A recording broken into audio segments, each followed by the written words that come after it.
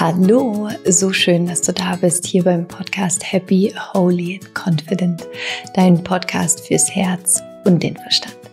Mein Name ist Laura Marlina Seiler und du bist hier bei den Spiritual Snippet Folgen. Das sind kurze Folgen, die Best-of-Folgen sind von Podcasts, die bereits aufgenommen waren, mit ganz tollen Gästen, mit Solo-Folgen und wo du zu bestimmten Themen kurze Zusammenfassungen bekommst, wo du dich einmal so richtig energetisch aufladen kannst.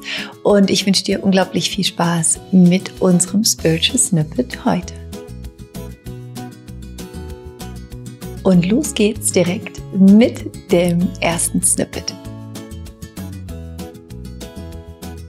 Wie, wie finde ich denn so einen Partner? Weil, wenn wir mal ganz ehrlich sind, 99 Prozent von den meisten Menschen da draußen geben dieses Commitment nicht, hauen ab, wenn es schwierig wird, ähm, bleiben in den Vorwürfen, entschuldigen sich nicht, sind nicht bereit, die eigene Heilungsreise anzutreten, sind nicht bereit, Coaching zu machen, den eigenen Shit anzugucken, was es ja einfach braucht. Ähm, und ich, also ich kann mir vorstellen, dass für viele, die denken sich so, ja, total geil, will ich auch. Aber wenn ich das jetzt mit meinem Partner oder meiner Partnerin machen würde, würde die sagen, ciao, ist mir viel zu anstrengend. Mhm. Äh, lass uns doch lieber weiterhin irgendwie an der Oberfläche so tun, als wäre alles gut. Weißt du so, das ist ja, viele leben ja in diesem gemütlichen Elend quasi und haben sich da so eingegroovt. Wie schafft es jemand, also wo, wo kann jemand, der jetzt gerade zuhört, anfangen, mm, der sich genauso eine Qualität wünscht für sich und für den Menschen, mit dem er oder sie zusammen ist, ähm, aber Angst davor hat, dann genau vor der Erfahrung verlassen zu werden oder ne, dass, dass, dass, dass du eben nicht gehalten wirst, mhm. wenn du dich so zeigst. Also wo fängt man an? Das Bewusstsein zu schaffen, dann bist du ja schon einen großen Schritt. Wenn du dir dieser mhm. Angst überhaupt schon mal bewusst wirst, ist ja schon viel geschafft. Und wir dürfen ja auch einige unserer Klienten begleiten, die gerade so jemanden kennengelernt haben, mhm. die gerade, das hat jetzt wieder eingeschrieben, jetzt irgendwie sind sechs Wochen zusammen. Mhm. Und wenn du natürlich in dieser frühen Phase anfängst, mhm. schon daran zu arbeiten, dir deiner Bedürfnisse bewusst wirst, über Bedürfnisse und Grenzen ähm, Sätzen sprichst, das ist ganz spannend zu sehen, dann folgt der Partner ziemlich schnell. Mhm. Umso länger du schon in der Partnerschaft bist, umso eingefahrener ihr euch habt, umso herausfordernder ist es natürlich etwas mhm. zu verändern. Und es gibt ihr, ihr braucht noch nicht mal ein Problem, ihr braucht eine Bereitschaft ähm, und es reicht die Bereitschaft von einem, sich das anzuschauen. Das heißt auch nicht, dass ihr streiten müsst. Das heißt, Du bist bereit, dir dein Leben mal aus einer neuen Perspektive anzugucken, aus einer Perspektive des Wozus. Wozu führst du dieses Leben, was du hast? Wozu hast du den Partner, den du hast? Weil die Frage des Wozu bringt dich immer in die Verantwortung. Und dazu musst du noch nicht mal in den Dialog mit deinem Partner gehen, sondern die Frage kannst du dir erstmal stellen. Denn dein System will immer, dass du überlebst. Und die Frage des Wozus bringt dich dahin, rauszufinden, was ist so dein Überlebensmuster? Was was braucht dein System für vermeintliche Sicherheit? Und da ist schon, da kannst du so Schritt für Schritt weitergehen. Ja. Und wenn da, ganz kurz eine Frage dazu, weil, also angenommen, ne, jemand geht da jetzt in die Reflexion mhm. und stellt dann fest, ah, okay, shit, in Anführungsstrichen, ich stelle jetzt fest, ich bin mit meinem Partner nur zusammen, um nicht alleine zu sein. Also ne, meine größte Angst ist es, verlassen zu werden und deswegen bin ich mit meinem Partner mhm. zusammen. Was mache ich dann? Also wir stellen auch immer die Frage, liebst du deinen Partner? Mhm. Das ist mal eine elementar wichtige Frage und in 99 Prozent der Fällen ist die Antwort ja. Mhm. So, wenn du deinen Partner nicht liebst, ist erstmal die Frage, okay, warum bist du wirklich mit dem zusammen? Mhm. Also ich, aus meiner Erfahrung sind die wenigsten mit jemandem zusammen einfach wirklich nur, um nicht alleine zu sein, sondern mhm. Liebe ist da. Und das ist schon mal die größte Kraft, die es in diesem Universum gibt, ist Liebe. Das ist das, was wir für Veränderung brauchen, was wir für Heilung brauchen. Wenn du deinen Partner nicht liebst, kann es natürlich auch sein, dass du dir nur einredest, du würdest ihn nicht lieben, weil das für dich sicher ist. Mhm. Aber die meisten Menschen wirklich mit einem Partner zusammen sind, den sie lieben. Die meisten sagen darauf ja. Die meisten sagen allerdings nein, wenn du sie fragst, wenn du sie fragst, liebst du dich selbst, was auch schön ist. Und wenn man davon ausgeht, der Partner ist Spiegel deiner Glaubenssätze, spiegelt dein Partner ja letztlich die Liebe, die du auch dir selbst gegenüber hast, was du nicht zugeben willst. Aber ist noch ein anderes Thema. Aber ja. Liebe an sich ist eine sehr wichtige Kraft, glaube ich, die dich überhaupt diesen Heilungsweg gehen lässt. Und dann auch, wir haben ja auch manche Singles in unserer Praxis Und auch da zu sehen, okay, du kannst diesen Weg für Partnerschaft, also schon als Single gehen und schon ganz viel erkennen, okay, warum ist es für mich gerade auch sicherer, alleine zu sein? Mhm. Und wo habe ich irgendwie geschlussfolgert, Beziehung ist auch einengend, Beziehung mhm. ist auch gefährlich, ähm, Beziehung beschränkt mich in meiner Entfaltung und so weiter. Und da äh, ganz oft, dass halt ganz tolle Erkenntnisse daraus kommen, okay, ja, bei meinen Eltern, also irgendwie habe ich geschlussfolgert für Frauen oft, äh, meine Mutter hat irgendwie den Kürzeren gezogen. Mhm. Und die war nicht glücklich in dieser Beziehung. Warum soll ich mich jetzt auf Beziehung einlassen und das gleiche Spiel nochmal machen? Da bleibe ich lieber alleine. Und dann schon viele sehr schnell erkennen, was eigentlich ihr Muster ist. Mhm. Und, ähm, und da Beziehung, also ob du eine hast oder auch keine hast oder eine glückliche oder unglückliche, dass immer ganz viel Transformationskraft in Beziehungen steckt, die zu einem wunderbaren Erkenntnisprozess ähm, führen können, wo du ganz viel über dich erfährst nochmal und dich kennenlernst und auch immer mehr dann absteckst, ähm, was du willst, wie du dir dein Leben vorstellst. Und dafür ist ja deine Arbeit so großartig, weil du ja, egal ob Single, in Partnerschaft, gerade getrennt, irgendwie zum dritten Mal verheiratet, egal was, jeder ist auf dem Weg. Ähm, die Reise ist das Ziel. Mhm. Es gibt kein Ankommen bei Beziehung. Ja. Es ist ein Prozess, es ist ein Hoch und runter und natürlich kann die Qualität, also es kann steigen, die Qualität der Beziehungen in diesem Bewusstseinsprozess, wo du an dir arbeitest und ähm, Dinge erkennst, die dich vielleicht noch begrenzen oder klein halten oder. Ich habe eine ganz wichtige Frage in dem Kontext und zwar, ne, jede Beziehung geht hoch und runter. Mhm. Und die Frage, die ich auch ganz oft gestellt bekomme, ist, woher weiß ich, dass die Beziehung die richtige ist, in Anführungsstrichen, für mich, ähm, oder ob sie wirklich ungesund ist. Also wo ist de, der Grad zwischen hier ist Wachstum und Heilung und ich gehe kaputt. Mhm.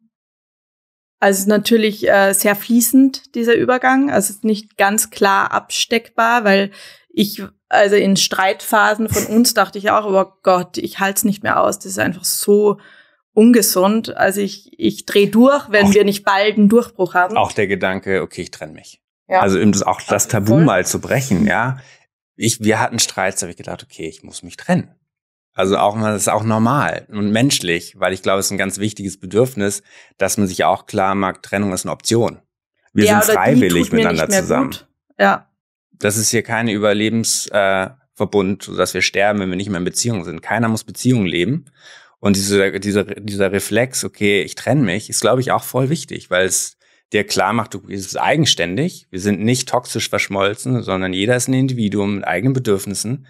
Also ich glaube, es ist sehr wichtig. Und was hat dann aber dazu geführt, dass ihr in Beziehung geblieben seid? Also was war dann das, was, warum du dich doch nicht getrennt hast? In unserem Fall tatsächlich, weil wir immer gewachsen sind. Wir sind nicht kleiner geworden über die Zeit. Also wenn du einen Zeitraum nimmst von einem Jahr oder so, manche Streits können lange dauern. Ja, was war euer längster Streit?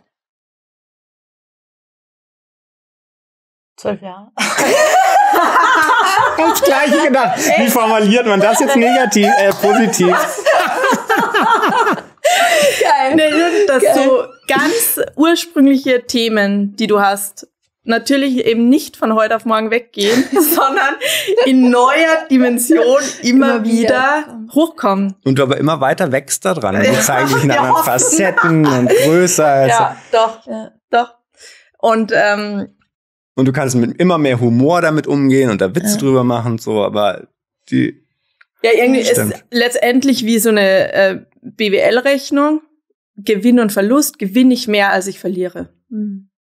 Wenn es einen Strich unter diese Beziehung setzt, kommt mehr raus, also wächst du, wirst du größer, und liebst du mehr. Was ist da der Zeitraum? Also mhm. wenn man sich auch eine BWA anguckt, das ist ein Jahr. Ähm, also, weil, ne, es kann ja mal, wie ihr gerade gesagt habt, es gibt Streits, die dauern. Ja. Ja, das kann ja mal sein, also, dass man mal, keine Ahnung, einen Monat, zwei Monate in einem Konflikt ist. Also wir haben drei powervolle Fragen für mhm. die Frage, ob du dich trennen sollst. Mhm. Die ist erstens, habe ich alles gegeben? Mhm. Kann ich von mir sagen, ich habe jetzt hier alles ausprobiert, ich bin am Ende des Lateins, ich habe bei mir geguckt, an mir gearbeitet, ich habe mit dem Partner mich auseinandergesetzt und so weiter, ich habe alles gemacht. Nummer zwei, arbeitest nur du an dieser Beziehung mhm. oder beide? Weil sonst ist es ein ewiges Ziehen, wenn immer nur du ja. bei dir guckst, dann macht es dich klein. Sind beide bereit, dieses Commitment einzugehen, miteinander zu wachsen, aneinander zu wachsen, aber 100% selbstverantwortlich. Also beide sind 100% selbstverantwortlich, wie diese Beziehung gestaltet wird, wie sie aussieht, mhm. wie die Qualität ist. Ist einer, der mehr Verantwortung übernimmt für wie die Beziehung ist, ist es zum Scheitern verurteilt letztlich. Krass. Und Nummer drei ist, wünschst du diese Beziehung deinen Kindern? Mhm. Also es ist nochmal so ein, natürlich eine krasse Frage und ähm, aber es bringt nochmal so Klarheit oft. Mhm okay, wow, ich bin hier in einer Beziehung, die würde ich meinem schlimmsten Feind nicht wünschen, meinem Kind erst recht gar nicht und äh, ich muss hier raus. So. Und zum Punkt zwei möchte ich auch nochmal ergänzen, weil für mich, wir haben ja vorhin über Unabhängigkeit gesprochen bei dir.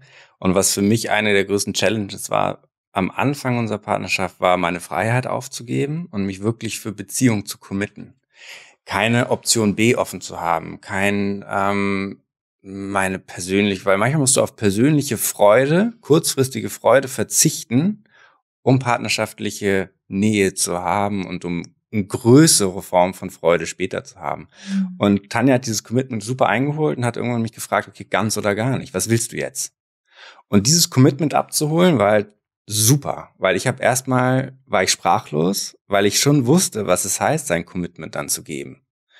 Und sich dieses Commitment abzuholen beidseitig, ist ebenso wichtig. Und das kannst du auch daran ablesen, ob eine Entschuldigung ist es dann, also im Unrecht sein, sich für etwas entschuldigen, ist es dann, wenn am Schluss des Satzes kein aber du oder kein weil, keine Begründung kommt, sondern die steht für sich alleine. Und wenn das beide in der Beziehung machen, es muss nicht abwechselnd sein, aber beide müssen das tun, dann hast du beidseitige Verantwortung und dann hast du immer Wachstum. Und wenn das nur einer macht, ist das letztlich einfach nur toxisch, weil das zur Zerstörung, zu Selbstzweifel, äh, zu Selbstwertreduzierung ja. führt. Was wir auch in anderen Kontexten einfach schon oft mit Klientinnen und aber auch persönlich erlebt haben. Ja, ja. Und weiter geht's mit dem zweiten Snippet. Was hat dir jetzt auch in der Beziehung mit Matthias geholfen, diese Nähe herzustellen?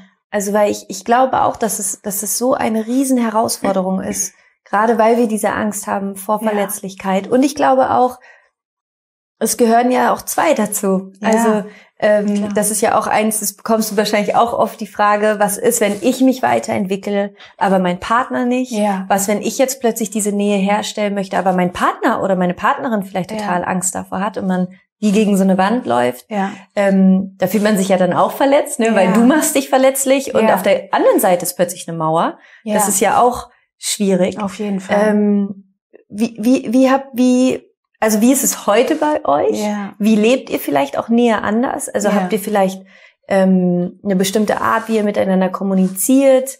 Ähm, nehmt ihr euch Momente für euch? Also wie, wie, wie, wie, also um das wirklich konkret zu machen, wie lebt man diese Nähe in, in Beziehungen? Also es waren jetzt viele Fragen. Ja, Entschuldigung. Willkommen in meinem Podcast. Ja. Ich werde wahrscheinlich nur einen Bruchteil beantworten können, weil ich die anderen sofort wieder vergesse. Dann müsstest du sie noch kein Problem stellen. Weil äh, das, was mir zum Anfang einfällt, ist so, wie, wie ist dieses, wo, wo du angefangen bist mit, ja. wie ist das mit, wie macht man das, wenn nicht, wenn nicht beide da ja. auf dem Weg ja. sind? Also ich habe das Privileg, dass Matthias mit mir parallel auf diesem Weg eingestiegen mhm. sind. Wir sind angefangen vor 18 Jahren mit einem sehr hohen Wert an persönlicher Weiterentwicklung. Der Kick-off unserer Beziehung war ein Korb von mir. Dass ich gesagt habe, so, ich finde dich echt süß und wir können auch Spaß haben, aber ich bin nicht interessiert an einer Beziehung. Und dann hat er das offensichtlich irgendwie geschafft, doch äh, mich ähm, zu erobern. Das heißt, wir haben beide irgendwie schon immer, ein, einfach, wir haben diesen Wert einfach relativ hoch in unserem System. Ich glaube, das ist schon ähm, auf jeden Fall förderlich, aber ich krieg immer wieder die Frage und ich kenne natürlich auch Paare und Beziehungen, bei denen es nicht so ist. Und das, was ich immer nur wieder sagen kann, ist, du kannst nur an dir selber arbeiten weil wir wollen ja gerne, das mache ich auch gerne, an Matthias rumschrauben, damit mir er mehr so ist, damit ich mich nicht verändern muss. Ist das super? Das ist voll die Macht das total Sinn. Macht total Sinn. Wo ist das Problem? Verstehe ich nicht. ja, ganz genau. Ähm, ähm, es ist sehr mühsam auf jeden Fall. Dann wollen die anderen sich immer nicht verändern. so. Echt. Also das ist, finde ich, total wichtig, weil womit die meisten, die, wo die Frage bei mir auftaucht, die dann sagen so, aber er, ne, bei mir sind hauptsächlich Frauen, die dann sagen, er soll sich irgendwie aber doch bitte auch verändern oder was ist denn, wenn er sich nicht mit verändert? Und ich glaube, wir können nur bei uns gucken und auch da den Mut entwickeln, dass ich mich so zeigen lerne und so zu sein, wie ich tatsächlich bin. Weil wenn ich das als Voraussetzung nicht erfüllen mhm. kann, habe ich nicht die Chance, jemanden zu finden, der mitgehen möchte. Mhm. Weil wir so sehr damit beschäftigt sind, uns zu verbiegen, um irgendwie gemocht zu werden, aber dann am Ende dastehen und gemocht werden für die verbogene Version von uns selbst und immer die Frage bleibt, würde ich auch gemocht werden, wenn ich mich eigentlich so einfach so zeige, wie ich bin? Das heißt, ich muss bereit sein, und das ist tatsächlich einer der wichtigsten Punkte, die wahrscheinlich keiner jetzt gerne hören will. Achtung, sonst Ohren zuhalten. Ja. Du musst immer die Bereitschaft haben, die Beziehung auch aufzugeben. Mhm. Also wir sind in den letzten 18 Jahren immer wieder, dieses Jahr auch schon einmal, an den Punkt gekommen, wirklich Trennung als Möglichkeit auf den Tisch zu legen. Nicht, weil wir das wollen, wir beide haben das Commitment, wir bleiben zusammen oder wir bleiben zusammen, überhaupt gar keine Frage. Aber wenn wir nicht bereit sind, Trennung auf den Tisch zu legen, verpassen wir die Möglichkeit, alles zu geben. Weil es ist wie eine Münze, die auf zwei Seiten ist. Ich habe keine Chance, zu 100 Prozent die Nähe zu erschaffen, wenn ich nicht bereit bin, zu 100 Prozent für mich loszugehen. Und da besteht immer die Gefahr, wenn ich merke, irgendwas stimmt nicht, dass ich immer sagen muss, innerlich, in mir, ich muss bereit sein, das aufzugeben, um meine Wahrheit zu leben. Und wenn wir beide aber das Commitment haben, dann geht es darum, dann rauszufinden, okay, was ist die Synthese? Wie, wie kriegen, wie kommen wir da zusammen tatsächlich? Und für uns, wir sind dann immer wieder, das sind die schmerzhaftesten Momente und die anstrengendsten Momente, wirklich furchtbar. Und es sind die wachstumsreichsten Stunden, Tage, Wochen. Mittlerweile sind die Abstände deutlich kürzer als früher noch, weil wir dann die Chance haben, nochmal alles auszublättern. Okay, was habe ich vielleicht für Kompromisse gemacht? Und ein Kompromiss per Definition ist immer, beide kriegen nicht, was sie wollen. Mhm. Und Kompromisse, deswegen bin ich ein großer Fan davon, keine Kompromisse zu machen, sondern immer rauszufinden, wie könnte eine Lösung sein dafür, dass beide gewinnen. Aber nochmal auf den Tisch zu legen, wie will ich das eigentlich haben? Was ist eigentlich das, was bei mir immer mal wieder so an hm, Gefühl an, sich angestaut hat? Immer mal wieder. Und in jedem Streit so ein, ah ja, stimmt, siehst du, so wie letztes mhm. Mal, was ich eigentlich wie so ein gedankliches Konstrukt zwischen uns stelle. Ich nenne das immer den Siesterhaufen, mhm. dass wieder eine Schippe auf den Siesterhaufen kommt und der dann immer größer wird, so dass immer mehr Distanz kommt. Und wir müssen bereit sein, uns die hundertprozentige Wahrheit zu sagen, sonst haben wir keine Chance mhm. auf wirkliche Nähe und wirkliche Verbundenheit. Das ist erstmal die Voraussetzung. Wow. Schlechte Nachricht. Nein, ich finde, ich finde, ja. es ist eine tolle Nachricht in, in, in dem Sinne, als das, und das schließt ja wieder so ein bisschen den Kreis zum Anfang auch, dass es dir wieder die Wahl gibt. Ja. Weil ich habe halt oft auch das Gefühl, dass Menschen sich nicht mehr die Wahl lassen ja. und dann denken, okay, man ist jetzt da irgendwie drinne und man muss da jetzt irgendwie durch und ja. wenn du halt nicht mehr die Wahl hast, dann hast du halt nicht mehr die Wahl. Ja. Also ne, das, dann, dann kannst du nicht mehr wirklich gute Entscheidungen treffen. Ähm, und ich finde, es ist, ich finde, es ist muss natürlich am Ende, und das ist ja hier auch äh, das goldene Gesetz in diesem Podcast, äh, am Ende gibt's hier nicht die eine Wahrheit. Jeder nee. muss für sich selber immer gucken, resoniert das mit mir? Ja. Ist das das, wie ich leben will? Und ich glaube, das, was du gesagt hast, ist, ähm, es ist sehr, sehr kraftvoll, weil dieses Bild mit der Münze, ne, ja. dass du sagst, nur wenn du 100% Ja zu dem einen sagen kannst, kannst du halt auch zu dem anderen ja. sagen. Ne? Weil sonst bist du immer nur 60%. Ja. Und immer diese angezogene Handbremse ja. und nie dieses All-In. Ja. Und Das finde ich schon spannend. Ja, und der Partner kann ja, ja auch nie 100% Ja sagen ja. zu dem, zu, zu, zu, wem oder was ich bin, ja. wenn ich das nicht wirklich zu 100% reingebe.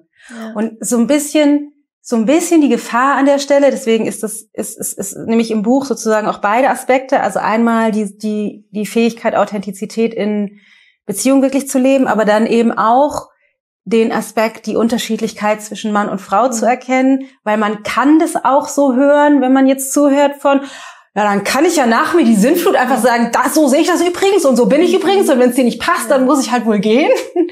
Und darum geht's eben nicht. Nach wie die Sinnflut ist nicht das, worum es geht, sondern es geht darum, wirklich das Herz zu öffnen und trotzdem stabil zu stehen, zu sagen, so ist es übrigens das, wie mir es geht. Und ich wünsche mir, das mit dir rauszufinden, wie das funktioniert, aber XYZ, das, das geht für mich nicht. Mhm.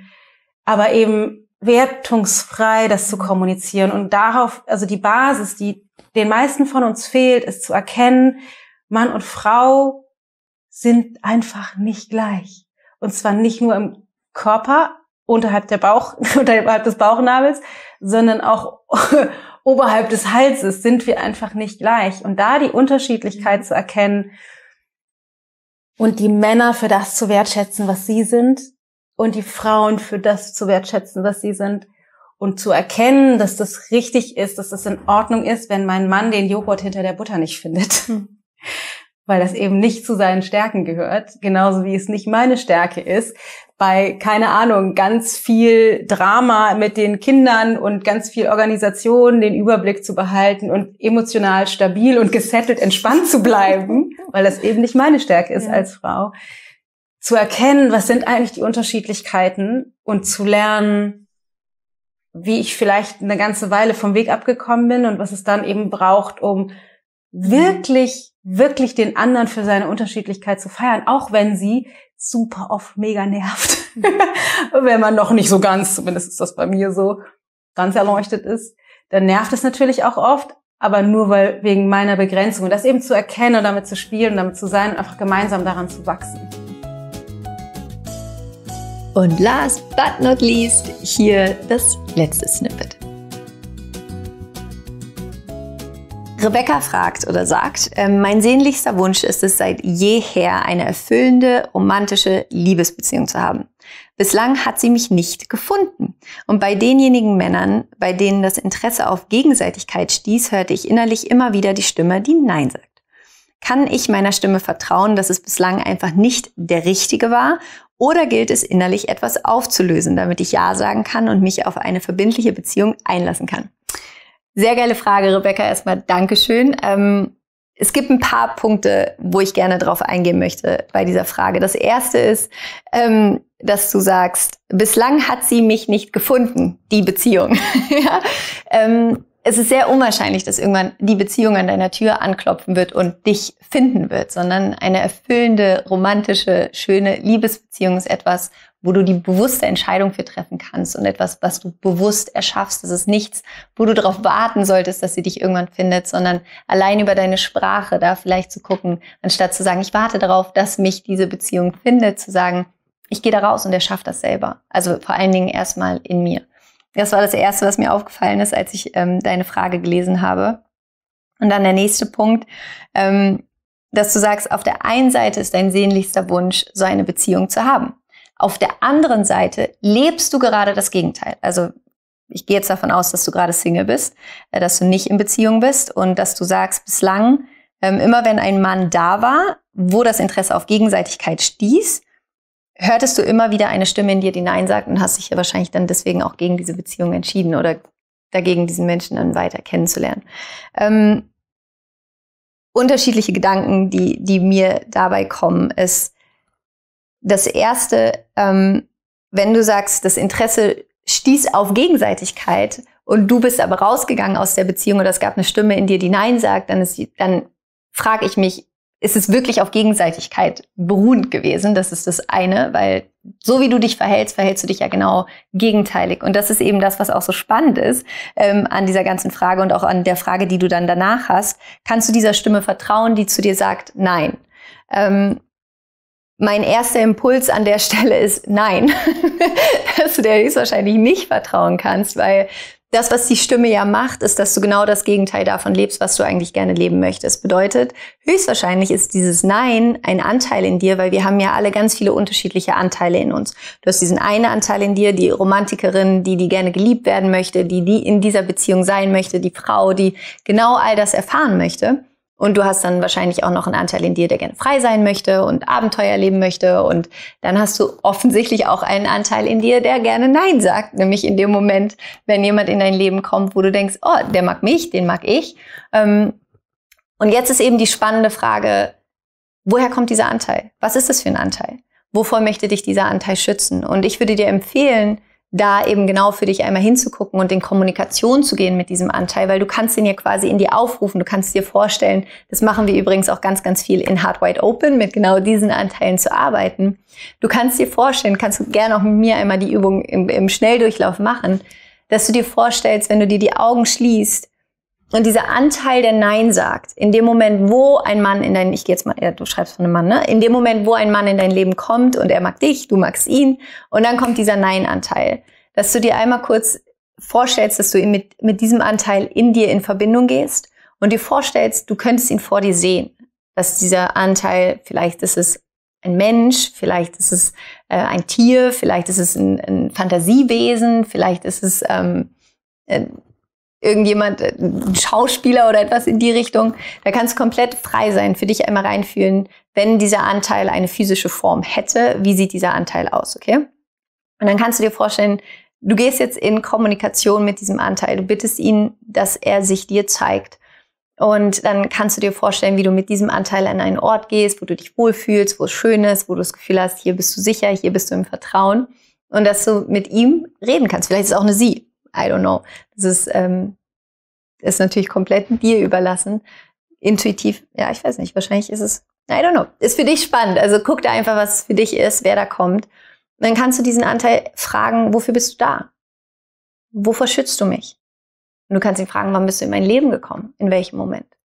Weil höchstwahrscheinlich ist dieser Anteil irgendwann in deinem Leben, in dein Leben gekommen, wo etwas passiert ist, was dich verletzt hat, wodurch du geschlussfolgert hast, dass es für dich sicherer ist, nicht zu nah an einen Menschen zu gehen, den du gerne magst.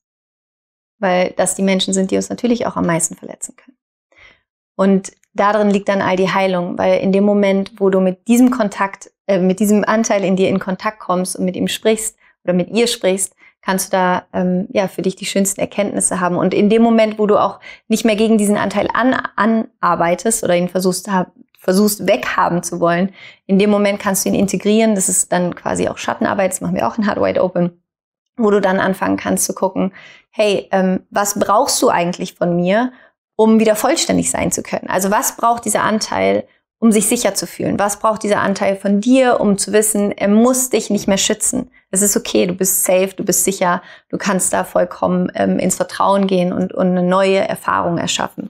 Und das ist eben immer das Spannende, dass quasi auf der Bewusstseinsebene wollen wir das eine. Wir wollen diese krass wundervolle, liebevolle, romantische, leidenschaftliche Beziehung. Und auf der anderen Seite sind wir voll mit inneren Ängsten, die manchmal dann so stark sind, dass sie stärker sind als dieser Wunsch. Ja, weil sozusagen in diesem Wunsch eben auch die Gefahr liegt, dass dein Herz gebrochen wird und du einfach wahnsinnig verletzt bist. Und dann ist natürlich der sicherere Weg, zu sagen, nee, dann gehe ich da gar nicht erst hin. Ähm, deswegen hier mein Impuls an dich oder mein, ja, das ist ein Impuls, den, den ich habe, intuitiv, dir zu sagen, geh in Verbindung mit diesem Anteil. Guck, woher kommt er, guck, wovor möchte er oder sie dich schützen und was braucht er oder sie, damit ähm, da Entspannung reinkommen kann. Und ein anderer Anteil, nämlich genau der Anteil, der in dieser Beziehung sein möchte, stärker werden kann, sich zeigen kann und eben anfängt, dein Leben zu führen und zu leiten. Ich hoffe, du konntest ganz viel aus dieser Folge mitnehmen. Es ist so schön, dass es dich gibt. Wenn du möchtest, teile die Folge super gerne. Abonniere meinen Podcast, klick so gerne auf Folgen, abonnieren. Mein Team und ich freuen uns riesig darüber. Und natürlich kannst du mir auch immer gerne Instagram folgen, at Laura Marlina Seiler. Und ich wünsche dir jetzt einen wunderschönen Tag. Es ist so schön, dass es dich gibt. Rock on, Namaste, deine Laura.